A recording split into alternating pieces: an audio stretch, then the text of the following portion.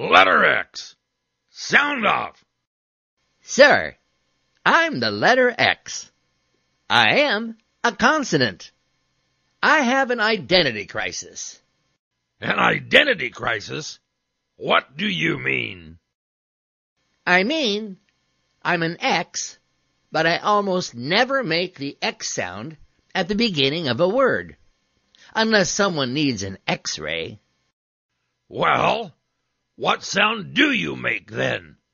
Sometimes I make the X sound when I come at the end of a word, as in six, and box, and fox. I see. Most often, though, I make the Z sound. Z, as in xylophone. Z, I, the phone, xylophone.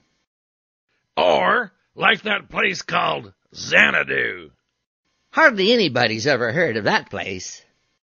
Okay, so you're not so good at beginning sounds, but I do hear you in the middle of important words like Texas, Mexico, Oxford.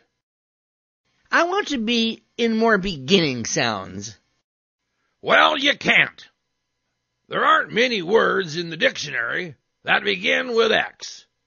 Now line up before they kick you out of the alphabet and you become the X letter X.